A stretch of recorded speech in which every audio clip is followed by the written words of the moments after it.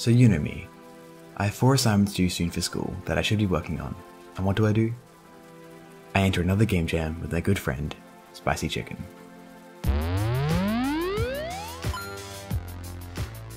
I'm sorry, I couldn't help myself. Today, I will be talking about the process of working on the 2021 Microsoft Paint Jam. The restrictions of the game were simple. All the game art had to be made using only MS Paint. Yes, MS Paint. The technological advancement that comes pre-installed on every Windows computer. And let me tell you, it was challenging. Oh yeah, and the game had to be completed within 48 hours. The stimulus for the jam was Andy Warhol's art piece, Campbell's Soup Cans. And naturally, we decided to make the game about soup. I started off by making a progress bar in the form of a soup can. To avoid anti-aliasing, I used the pencil tool with the largest thickness. This is not pixel art. I repeat, this is not pixel art. I know my channel is all about pixel art, but the canvas size is just way too big for pixel art. We are going for a really messy, sketchy sort of look instead.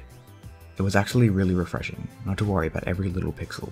Stray, abandoned pixels just added to the aesthetic.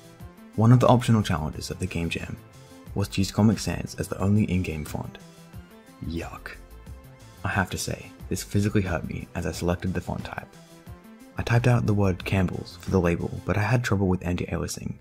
Paint blended the grey and white, leaving me with some very light grey pixels around the edges of the text. In hindsight, I would have used this feature against a red background to match the label colour.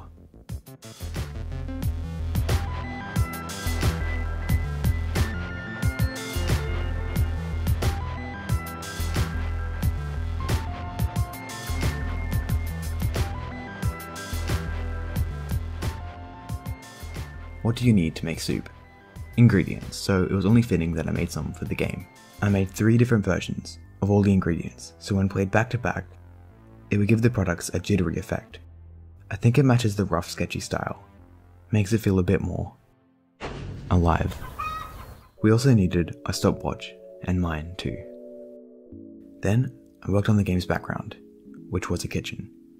I made sure the dimensions were 700 by 700 pixels to match Spicy's request. I had to use a lot of the fill tool, lines, and rectangles, just because the canvas size was so large and the pencil tool had a maximum thickness that just wouldn't cut it. When working on the vent, I didn't like how much contrast there was, so I decided to put some low opacity color over it. Paint doesn't have opacity, so I had to use the marker brush to get the desired effect. Some cans tied the scene together. I then made some various user interface elements, I'm happy with the buttons, and I like that the bomb matches the idea of exit or discard progress. The last thing I created, using this terribly simple program, was a title logo. My final thoughts? While it was frustrating, I still think it's pretty cool that we managed to make everything with MS Paint. For a program that is made fun of so much, I think it does the trick. However, there were still some very frustrating barriers along the way. Colours were a pain. They really were, the only way I could make a palette was by eyedropping each colour and selecting edit colours. This worked for a few, but since there are only 10 spare slots, it soon becomes difficult to manage them. Hotkeys. Oh my god. Hotkeys. I never thought of myself as someone who only uses hotkeys, who will go out of their way to press 5 keys at once just to not have to move the mouse a tiny little bit. But doing this challenge really made me see how important they are. Just a hotkey for the eyedropper would have been all I needed. It was so hard to paint, when every time you wanted to change colour, you had to drag your mouse all the way to the eyedropper and back to the colour. There were no layers or transparency, so I had to rely on transparent selection, which didn't work half the time. Every time I wanted to change the dimensions of my canvas, I had to look at the bottom of the screen and nudge it around. There weren't any tools for animation, so all the frames had to be eyeballed and then exported individually. But there were some things I did like about the program, mainly the fact that there is no exporting required, with only one file for each drawing. Also, the fact that you can start drawing as soon as you open up the program. Overall, it was a nice change from what I usually do, even just letting go and making some sketchy, unrefined artworks. It's not something I would want to do often, and I'm very glad to be back in Aseprite, but it was a good experience to have.